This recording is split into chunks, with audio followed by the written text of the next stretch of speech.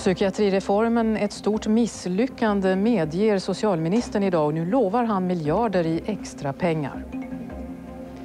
Stora förhoppningar om ökad demokrati. Idag väljer kroaterna nytt parlament.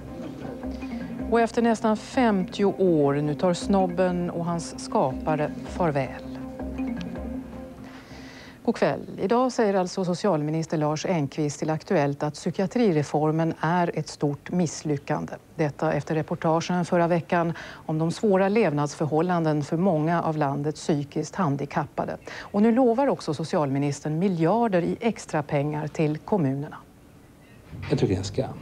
Alltså det, är, det är ett jättestort misslyckande för hela det offentliga Sverige och naturligtvis också för socialdemokratin som ju faktiskt inte har någonsin tänkt sig att ett socialdemokratiskt samhälle skulle se ut på det sättet.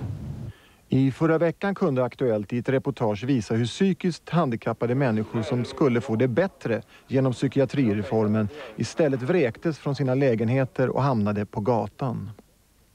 Ja, det är ett reportage om ett av 90-talets stora socialpolitiska misslyckanden. Eh, jag tror att det skildrar precis problemet sådant det är Eh, Eh, ett stort antal människor eh, har lämnats vind för våg eh, av en rad olika skäl. Och detta är ett mycket stort socialt problem i Sverige idag.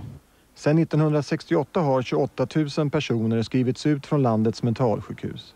Psykiatrireformen från 1995 innebar att kommunerna skulle hjälpa dem som skrivits ut med boende och stöd och landstinget med sjukvård.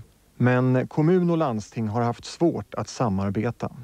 Reformen som sådan är rätt tänkt men genomförandet blev eh, minst sagt misslyckat. Varför blev det inte bra? Eh, två skäl till det. Det ena var att den genomfördes samtidigt som hela den offentliga ekonomin gick överstyr. Förutsättningen för att eh, psykiatrireformen skulle fungera var ju att kommunerna och landstingen skulle kunna expandera sina verksamheter på det området. Den förutsättningen försvann. Och det andra var en osäkerhet om ansvarsfördelningen mellan landstingen, alltså sjukvården och kommunernas socialtjänst och eh, den verksamhet som kommunen ansvarar för. Socialstyrelsen har nu fått i uppdrag att utreda ett samlat huvudmannaskap för de psykiskt handikappade. Och socialministern lovar nu flera extra miljarder i stöd till kommunerna. Vi sitter just nu och förhandlar med Landstingsförbund och Kommunförbund om att upprätta en sjukvårdspolitisk plan eh, där psykiatrin är en av tre områden. Det andra är primärvården och tredje är eh, medicinska insatser i äldreomsorgen.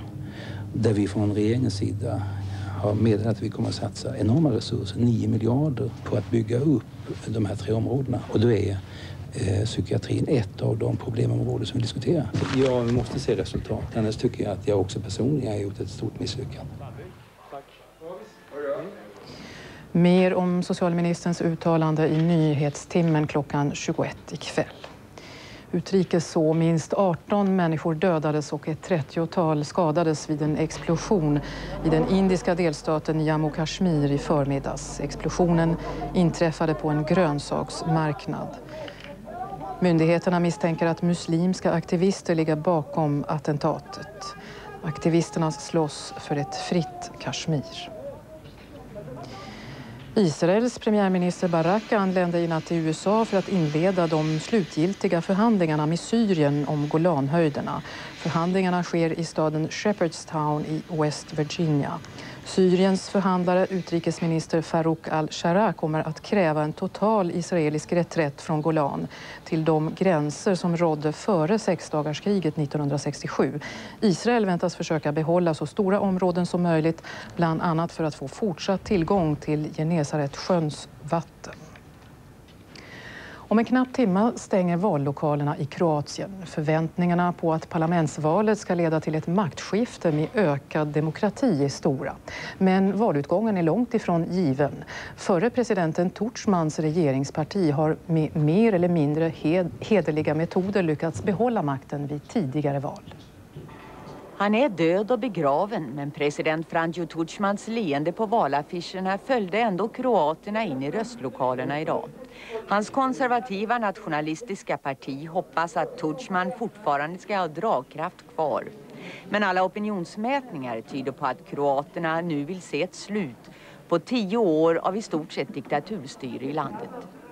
Ja mislim da se može desiti ovaj bolje, samo ako promijenimo vlast.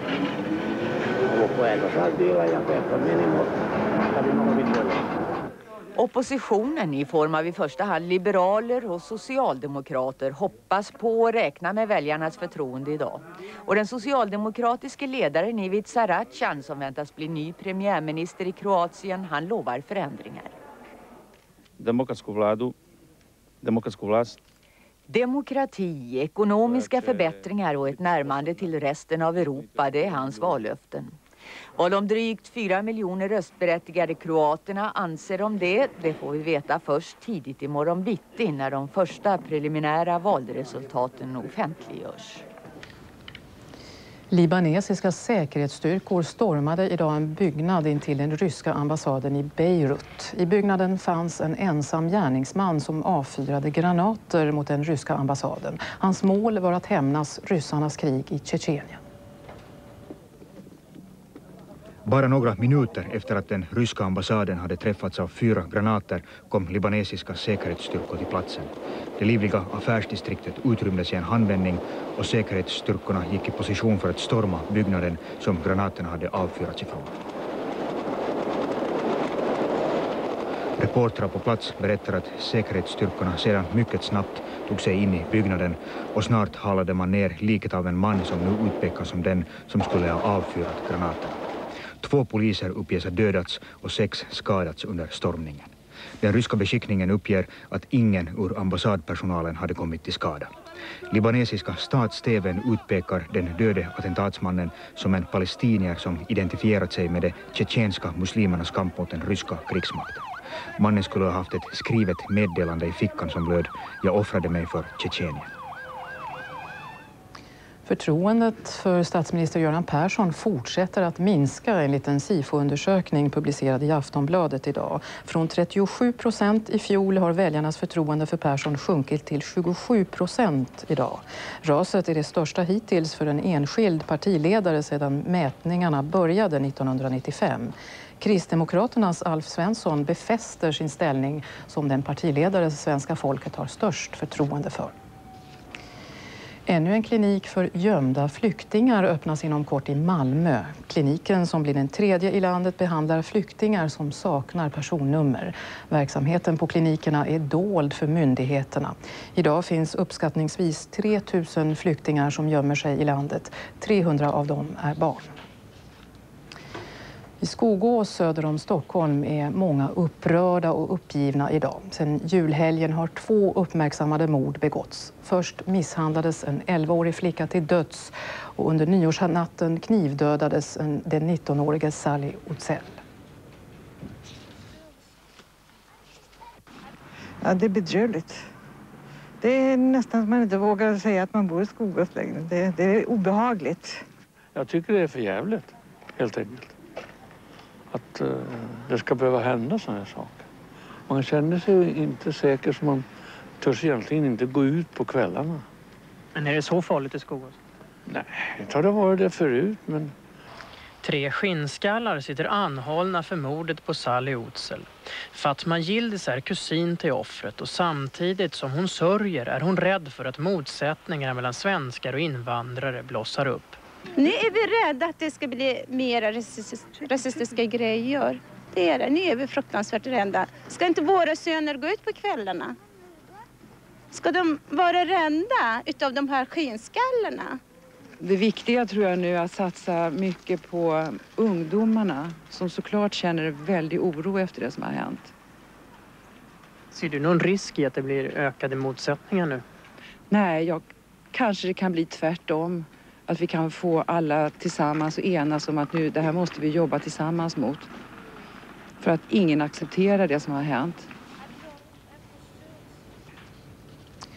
Hans Werthén, en av Sveriges mest kända industriledare, har avlidit. Han blev 80 år.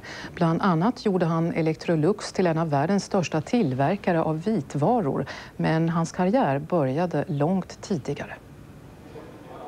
Hans Werthén tillhörde pionjärerna när det här mediet, TVn, tog sina första stapplande steg i slutet av 40-talet. Såna här tingestar kom att bilda ett nytt inslag i våra hem, sa Hans Werthén redan 1950 när han var chef för TV-utvecklingen på Tekniska högskolan i Stockholm. Men det var när han lämnade den akademiska världen för att under 24 år leda vitvarutillverkaren Electrolux som han blev mest känd för allmänheten.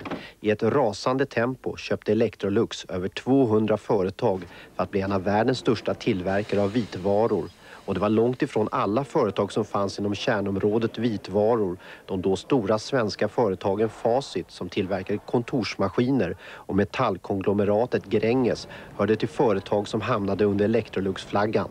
Men Hans Werthén hade alltid en naturlig förklaring till de vitt skilda företagsköpen. Som när tillverkarna av gräsklippare Flymo köptes. Då menade han att gräsklippning bara är ett slags dammsugning utomhus. Hans Werthén skulle ha fyllt 81 år i sommar. På Stockholmsbörsen fortsatte fjolårets uppgång idag. Under årets första börsdag steg generalindex med en halv procent. Dollarn blev fem öre billigare jämfört med i torsdags och de långa marknadsräntorna steg kraftigt både i Sverige och i resten av Europa. En världsberömd kändis tar farväl idag. Efter nästan 50 år säger nämligen Snobben genom sin skapare Charles Schultz adjö till alla som följt Bigens göranden genom åren.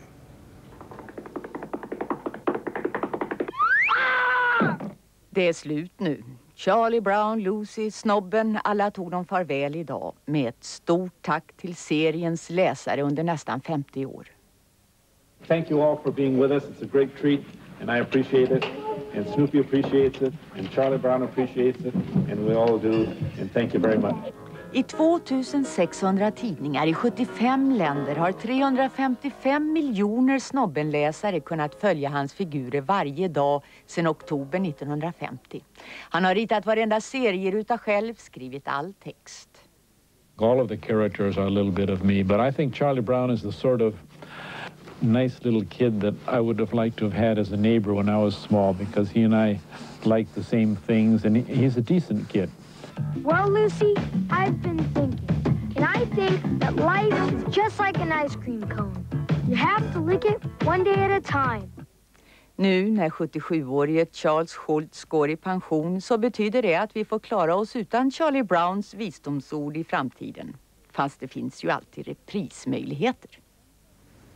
Mm. Årets första långtidsprognos presenteras idag av Lage Larsson. Varsågod. Ja, då börjar vi med de små detaljerna. Det har ju regnat en del i södra Sverige och nu börjar det också spricka upp under kvällen. Så vi varnar för halt väglag nu i natt i eh, norra Götaland, Svealand och södra Norrland. Nu kommer vägbanorna säkert att torka upp i samband med den kraftiga vinden ganska bra under morgondagen. Men sen får vi räkna med att framförallt från lunchtid under eftermiddagen för mycket hårt väder i Jämtland och Härjedalsfjällen. Och framåt eftermiddagen kan det säkert vara stormbyar även öster om fjälltrakterna i området här. Snöfall i Norrland under morgondagen, sen framåt onsdagen så har det här djupa lågtrycket dragit bort. Och onsdagsbilden kommer att visa att vi kommer att ha ett svagt frontsystem bara som ligger ner genom landet på det här viset. Fortfarande ganska friska vindar in över de södra delarna och på vissa ställen kan vi få lite skymt av solen. Torsdagen kommer att börja med i landet med en högtrycksrygg som framförallt i de östra delarna ger rätt så vackert väder under hela torsdagen. Men sen kommer nu en portion med riktigt mild luft och trycker fram. Och när vi nu sen framåt fredagen och lördagen så kommer det första frontsystemet med mildluft att passera ganska snabbt. Och sen kommer det nästa och vi ser här över England plusgrader på omkring 5 till 8 grader. Och det här kommer troligen dra in sen under lördagen och söndagen och en bra bit upp över landet. Så det blir fortsatt mycket mild även om det blir blåsigt imorgon och lite risk för halka.